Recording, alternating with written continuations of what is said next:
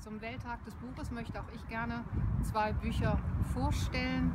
Ich habe in meiner Freizeit, wenn ich sie denn habe, auch oft das Vergnügen, ein schönes Buch lesen zu dürfen, aber ich muss natürlich auch beruflich viel lesen. Ich bin die bildungspolitische Sprecherin der FDP-Landtagsfraktion